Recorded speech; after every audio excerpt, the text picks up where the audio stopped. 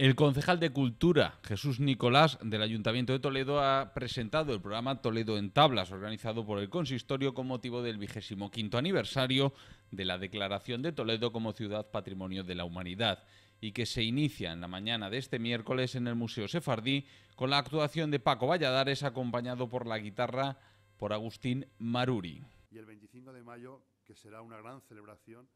porque ya estamos preparando lo que será la gran noche toledana, la noche toledana por excelencia, que recordarán, recordarán ustedes que nos comprometíamos a celebrar 25 horas ininterrumpidas de actividades. Bien, pues iniciamos hoy, y para eso les convocamos a todos ustedes, iniciamos hoy, mañana para ser exactos, iniciamos este proyecto de Toledo en tablas,